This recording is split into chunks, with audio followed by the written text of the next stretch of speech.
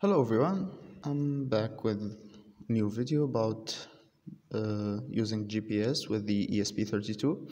Recently I had to work with GPS in uh, kind of a big project so I needed to make some modifications uh, for this driver and I thought maybe I'll open source a version of this uh, driver because I think what I did is interesting. It, so before I walk you through the code, I have some some notes here that I want to walk through. Okay, so uh, the source code is in on github.com slash rad dash hi. That's my profile, and then esp32 dash uh, underscore gps underscore driver. Anyway, so the wiring for the GPS module if you don't know what it is and I'll hopefully remember to put a picture of this module on on the video. So the wiring is uh, straightforward. It uses serial to communicate on a 9600 baud rate. If you don't know what serial is uh, please go google it or look up any other videos. It's it's one of the basics of uh, serial communication is one of the basics of embedded pro program, embedded programming, and Arduino in general. So you'll find tons of videos and resources online about it. Uh, for serial communication or communication in general, we can use uh, hardware specific for that communication. Like it's hardware that is made to to maintain and do a serial communication or I2C communication or any uh, protocol. So in the Arduino, for example, you wherever you see that TX and RX pins, that's serial communication. On the Arduino Uno, we have a single ser uh, serial port. We call it a serial port. Hardware. Um, uh, when I'm when I'm talking about uh, serial ports, I'm talking about hardware for now. On the ESP, we have three three of these. So they are serial 0, serial 1, and serial 2. For me, I used serial 2 in this uh, specific example you don't have to but it is there. Uh, so serial 0 is on pins 3 and 1 anyway so serial 1 is on 16 and 17 and serial 2 on is on 26 and 27 so i'm using these two pins. Make sure if you change this to change the pins according accordingly and i'll show you where you can change these in the uh, code in the header file Anyway, I implemented as well a software serial communication and this is not recommended. Most of the time, this is not recommended. I only implemented this because in my case, I'm using the three hardware serial ports. So, and I need GPS, but software serial communication is not reliable and it's way slower than hardware uh, generally anything implemented anything that could be done in hardware and is implemented in software will be slower. Uh, look up bit banging if you want to learn more about this or software implementation of hardware peripherals in general.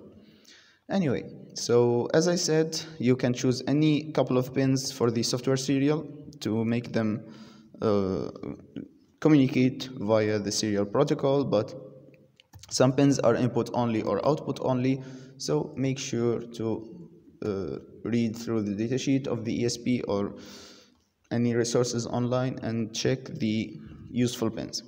Anyway, so for serial communication, we need the transmitter side to talk to the receiving end of the receiver side. And since this is a full duplex uh, communication, which means that the GPS could talk to the ESP and the ESP could talk back to the, G, uh, to the GPS. So sometimes the, G, the GPS is the talker and the ESP is, the listener and vice versa. I mentioned full duplex thing. That means that uh, these, tra these transmissions in both uh, ways could be done simultaneously. So at the same time that the ESP is talking to the GPS, uh, the GPS could talk to the ESP since we have two separate lines. Anyway, so the transmitter of the ESP should be hooked to the receiver of the GPS. The transmitter of the GPS should be hooked to the receiver of the ESP. That's straightforward. The second thing that I want to talk about is the reading frequency. So I uh, experimented a little bit with this and I found out that uh, I could get up to 10 hertz, 10 reads like per second from the GPS. I would rather stick to 5. The third thing that I want to talk about is the operation medium and this is very important because this cost me 6 days of debugging only to, to find out and this is a lesson to learn is to always go for the data sheet the first place you should uh, seek information about a product is the information that is provided by the people who made that product. And for sensors and generally the embedded world you should read the data sheet so GPS doesn't work indoor. Wherever there is a wall, uh, there, there is a roof uh, on top of the GPS, it won't pick the satellites, it won't connect to the satellites, and you won't have any data. So, as I said, six days of going back and forth with this, only to find out that I just had to stick that GPS module from the window. Yeah. That sucked, and whenever someone talked to me about GPS, that's the first thing that, that I mention. I'll never forget that. Read the data sheet, please.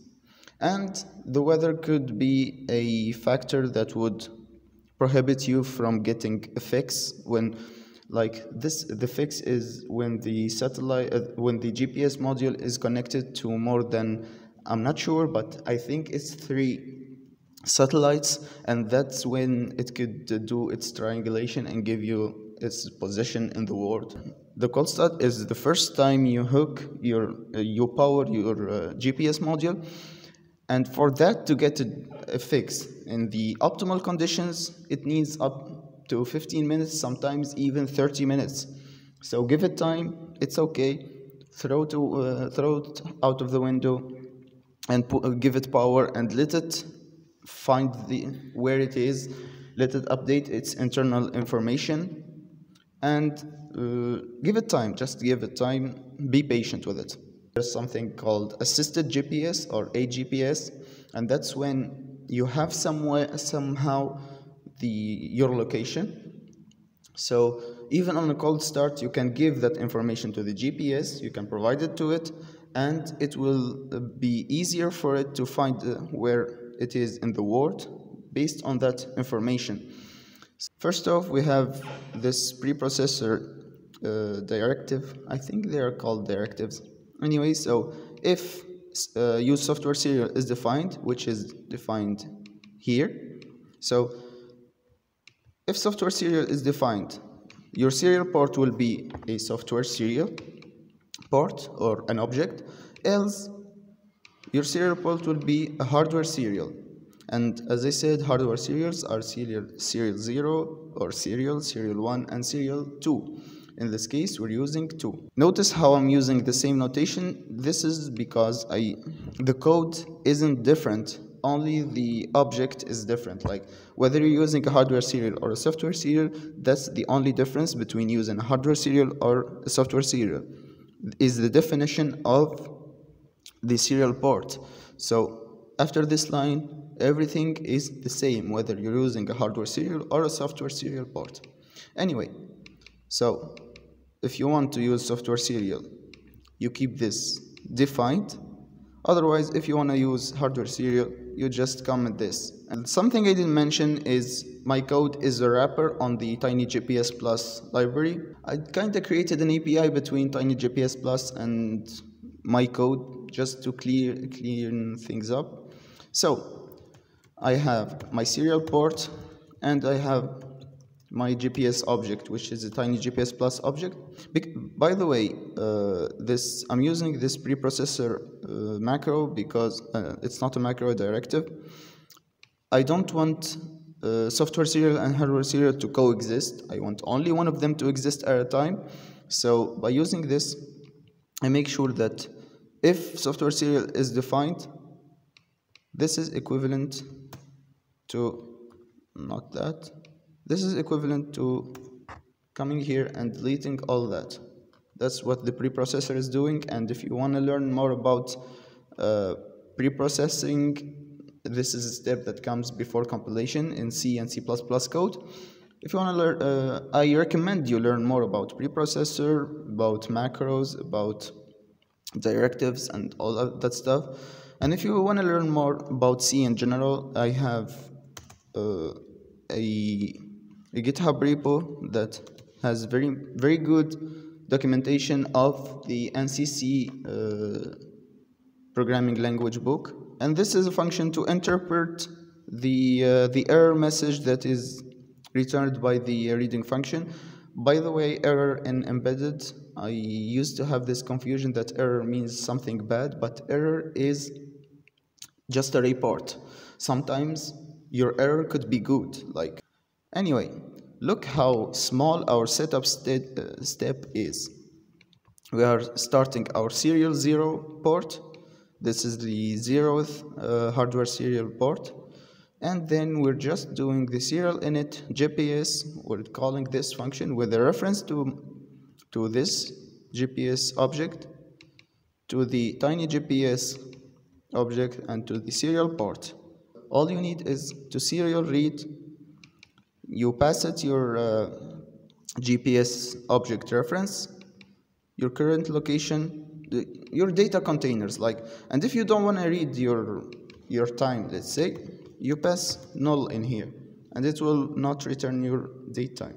Let's now talk about why that uh, FreeRTOS stuff and the task and the software timer. So what I wanted is an asynchronous access to data. What I mean by that is I didn't want to read the data every time. Uh, like I didn't want to uh, enter a communication with the GPS module every time I needed data. So I created a software timer. I made it uh, wake up every 200 milliseconds. So I'm reading the GPS every every 200 milliseconds. So each 200 milliseconds, the uh, the software timer timer will throw an interruption, and that interruption will call will call this function, which which is the GPS timer callback. What we'll do is we'll notify from an ISR the task, the uh, the the main task of the reading GPS. So if you don't have an idea what a task is and what RTOS is and all that stuff, RTOS stands for real-time operating system. And say we have, each function has its own loop, let's say. So we have like four loops running in parallel, pseudo-parallel. Like in the ESP, we can do uh, actual parallelism because we have dual cores.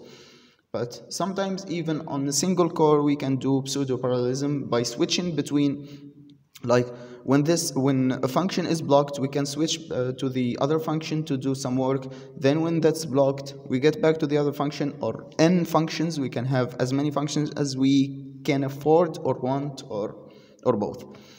So so we have this task this gps reading task that has a super loop this is a loop that's while true that runs forever and it, it waits for a notification of availability or of access to reading let's say. So the software timer wakes up every 200 milliseconds. It notifies the uh, notifies the GPS reading task that it's okay to read. So it was blocked here doing nothing just waiting for uh, the notification. Once the notification is received what it will do it will start the timer again. So starting the timer uh, so each time the timer uh, hits 200 milliseconds it will reset to zero and start uh, counting again. But if we start it here say uh, between the calling of the uh, of the interruption and uh, reaching this line we lost let's say 10 milliseconds.